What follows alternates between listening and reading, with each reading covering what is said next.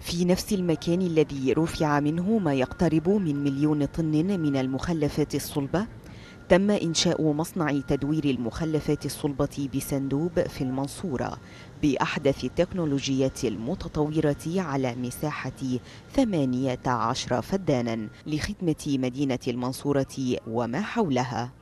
المشروع دوت له جدوى اقتصادية وجدوى بيئية وجدوى صحية كبيرة جدا.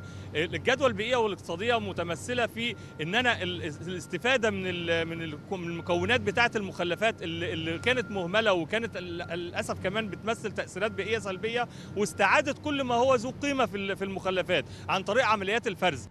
المصنع يوفر سمادا عضويا ووقودا بديلا وذلك من خلال مجموعة من المراحل التي تبدأ بدخول العربات المحملة بالمخلفات وصولا إلى منتج نهائي يستخدم كوقود وله جدوى اقتصادية ويحافظ على البيئة. لو ما كانش موجود المصنع ده كان بيحصل تلوث في الشوارع كان بيحصل حرق كان بيحصل شغل غير تقليدي أو غير طبيعي. إن أنت ممكن تلاقي انبعاثات حرارية بتلاقي كربون بتلاقي حرق أولي. كل دوت كان بيأثر على صحة المواطن.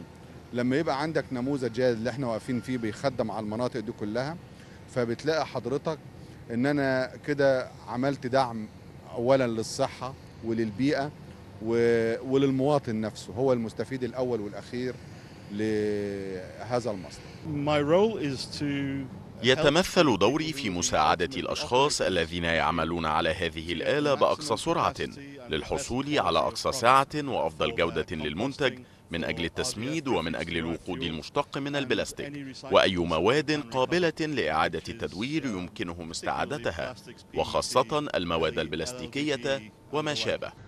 تقوم حاليا إحدى الشركات المصرية بأعمال إدارة وتشغيل مصنع سندوب لمعالجة وتدوير المخلفات بجانب تشغيل المدفن الصحي للتخلص الآمن من المخلفات ضمن المنظومة الجديدة لإدارة المخلفات البلدية بمحافظات مصر.